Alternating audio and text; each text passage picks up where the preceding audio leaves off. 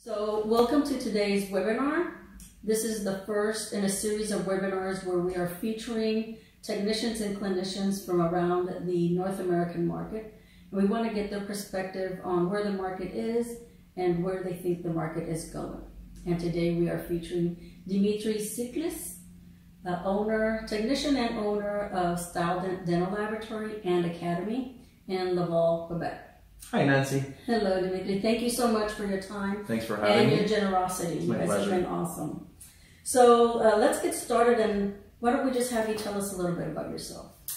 Well, what can I say? Uh, the most important thing in my life is my family, my uh, beautiful four and a half year old daughter, my uh, loving wife and business partner. So we're both owners of uh, Styledent. So we're partners in business as well as partners in life. Awesome. Uh, it works great for us. Mhm.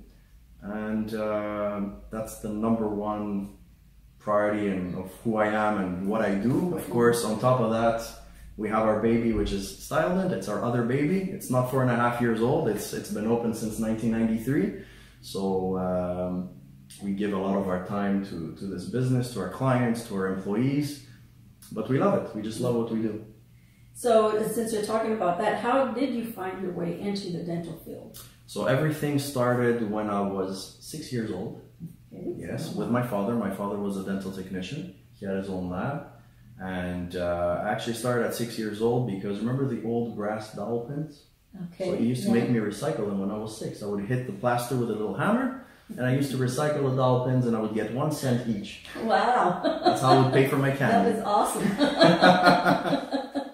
that's that was that's very uh, uh, just very uh, curious how he got you not just to start in the field, but to feel like you were doing something. Yeah, right? definitely, for Yeah, sure. in your sense of purpose. So, um, so what have been some of the challenges that you've been faced with, first as a technician, and then moving from technician to being a lab owner? So, as all technicians, when we start, when we uh, work, because my dad's lab was very, very small, it was him, one employee, and when I joined myself, and then my wife also uh, came and joined us in the business.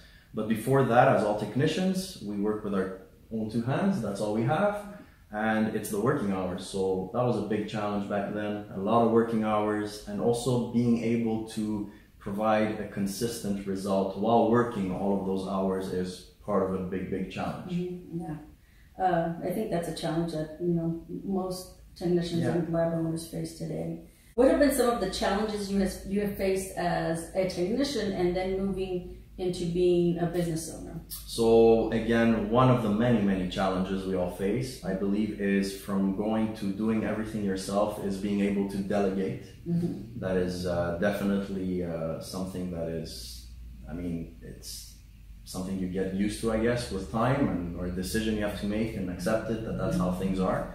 Of course, um, another thing is being there and supporting a big team and constantly uh, making sure everybody's on the same page from clients to employees. Uh, another thing is just having to figure things out. I mean, every day, every day there's something new. Uh, I'm the kind of person who loves to evolve, and uh, a lot of people are happy with how things are and they just stick to what works, which is great, but we do have to evolve. And being that way is a good thing, but at the same time, the challenge as a business is just having to figure things out every day and investing in new technologies constantly. And- sticking to your business model, Exactly. right? It's it's uh, that's, Yeah. that's a challenge. So, talk me a little bit about your lab. How was your lab set up, and how did it change over time? So, you were a technician, worked in a smaller lab. Did it grow over time, and then as you became business owner, what happened? Was it bigger? Did it become smaller as uh, things changed? Where Well, the things changed. Basically, we were a very small lab. We were two people, then three people when my wife joined. The reason for which Lydia, my wife, joined was to help us and market us because my dad and I were giving great products, but nobody knew about them. So we decided that we needed somebody to market us, and that's where Lydia came into play, and she really pushed that. Uh, she actually proposed a course uh, for me to give at the local universities. I was 26 years old. Uh, I was the first technician to ever do that. And uh, it's an, been an ongoing conference for 10 years talking about dental materials.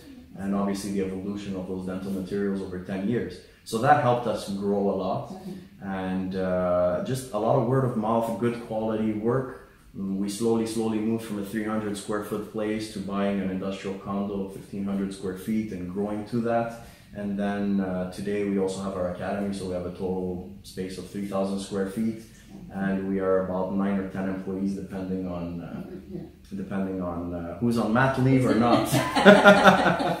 That's that's just the right. that's just how it is. yeah. Uh, so, what has been the biggest game changer for you in your business? Well, I mean, the, the evident answer I think that anybody would say is technology. Now, I'd like to mm-hmm. specify a little bit more. I believe that technology is not a new thing in our place. We've been milling zirconia since 2007 in house, so it's it's not new. And I wouldn't say milling either because milling was a game changer maybe 12, 13 years ago. Mm-hmm. Today, I would say it's digital impressions, 3D printing, and especially when we're talking about 3D printing, the different kinds of resins, the settings, uh, the uh, different technologies, because you have different types of 3D printing. So all those are game changers. And uh, again, digital impressions, all the different systems, creating a proper workflow. Uh, those are those are challenges and game changers. Yeah, and so you know we talk about, and you're correct. I think technology uh, is not new, and as far as milling goes, that's something that's been happening for a long time. I think when it comes to milling, it's the materials that we're milling, right? There's been some advances in those. Definitely. Uh, so as far as zirconia goes, um, how what are the criteria for you when you are selecting a material that you're going to use? Well, number one is reliability. And when I'm talking about reliability, I mean uh, things need to be done properly. I want proper isostatic pressing. I need uh, to be associated to a company that knows what they're doing, that have been in the dental market for many, many years, and that have the experience and the support to basically make sure that what I'm giving my clients and they're giving to their patients is sustainable, right? Yes. So uh, that is the number one thing. Second of all is definitely reliability as far as aesthetics and color. I hate surprises. Uh, if there's something that's pre-shaded and it comes out of the sintering oven a different color than what we chose, clearly there's a problem. So that is an important aspect as well.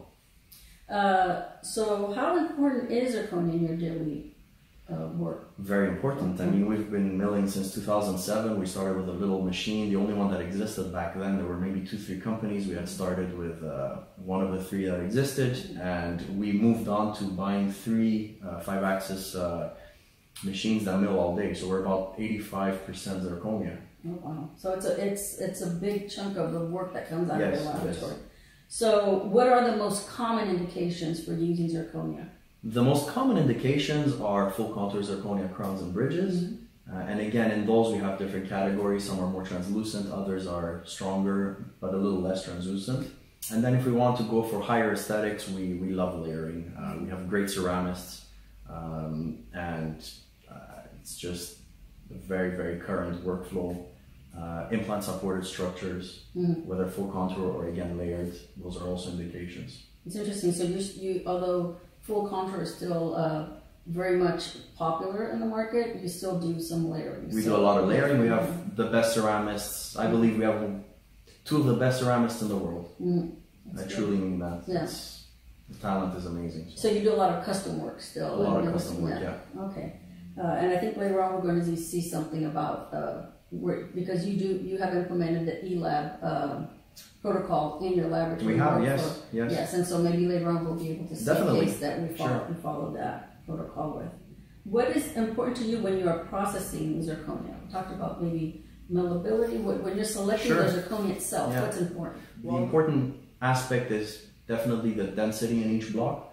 Uh, but then again, the very important part of this is millability. I mean, we do have uh, to make sense uh, as far as our production goes uh, for them not to have margins that get chipped and we have to remill.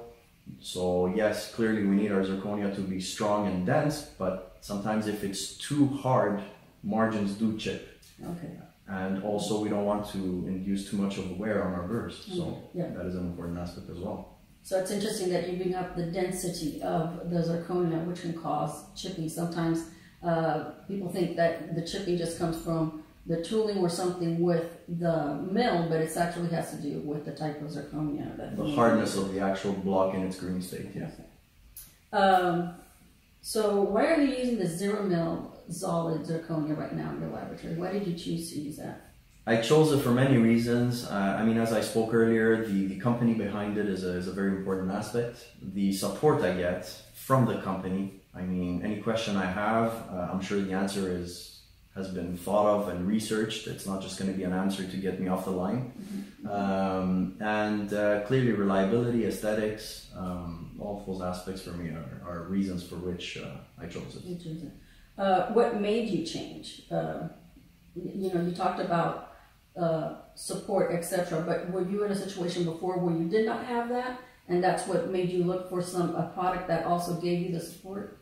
Well, the uh, I'm not gonna lie by saying that what I was using wasn't good. It was good aesthetically. It was okay. It Was it as reliable? No, it wasn't as reliable. We had some problems with coloring, so that was one of the reasons uh, that that made us make the switch. Uh, I compared. I just compared. I made two units of the same color. We sintered them, and the result was superior with with uh, with Amann Girrbach. Now, the other major factor was service. I felt like just uh, I, I mean, the support was just cookie cutter support. I wasn't getting real support when I really needed it. I was getting it when things were going well, but as soon as I had a an inquiry on, on, on things that weren't working, I was getting no service. So to me, that's what shows if a company is serious or not. So your service for you was very important in making that decision. Uh, and so, what do your employees like about the switch? Not having to redo anything. They're happy. and not getting a surprise in the morning when the sintering oven's open and Yeah. seeing colors being off. That, that's important. You got to keep them happy for Yeah. sure. Uh, if you were to describe the Ceramill Zolid Zirconia in three words, what would you use? I would use again consistency, reliability, esthetics Mhm. uh, and also versatility. Here, I gave you four. Yeah, that's good. Hey, give us one more. What new products or processes would you like to see be available in the future?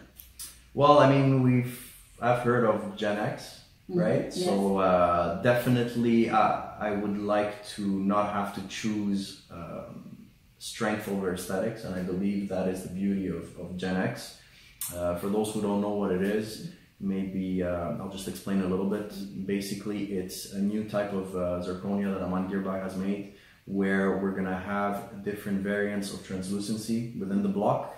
But the beauty of it, as opposed to many competitors, is that we are going to have the same strength throughout the block. So if you have a bridge, for example, uh, when you're milling a bridge, you usually have to angulate it in a certain ways.